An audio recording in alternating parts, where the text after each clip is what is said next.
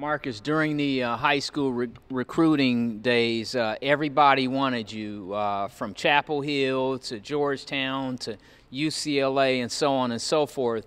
Uh, Dick Vitale, Mr. Vitale, who actually is a, a Florida gentleman, um, he coined the phrase, he used the uh, give me liberty or give me death.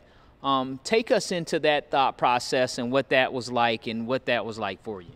It was it to hear it uh, when I replayed the McDonald All American game, because that's when he said it. He, he, said it in the McDonald All American game that Lou Henson and the, the and, and, the fans at Illinois are down there screaming. Lou Henson is screaming, "Give me liberty or give me death," and that just stuck, you know, with me. So I even named some of the things that I do. You know, I got a T-shirt, "Give me liberty, give me death," uh, or "Give me death." Uh, so Dick Vitale was the one that coined that and gave me that on national TV of how Lou Henson was crying, "Give me liberty or give me death."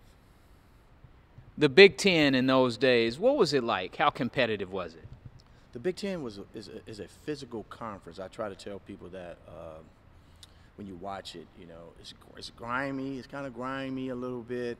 Uh, a lot of defense is being played. And, and some teams try to, you know, run and gun, run and gun, but it, it doesn't work as much. Like people saw us play at the University of Illinois they thought we were we, we were a running team, but how we got our buckets were from defense. You know, we had to play the good defense to get up and down the court because we wasn't that big. We wasn't that big. We were probably the smallest team in the Big Ten at the time. Thank you.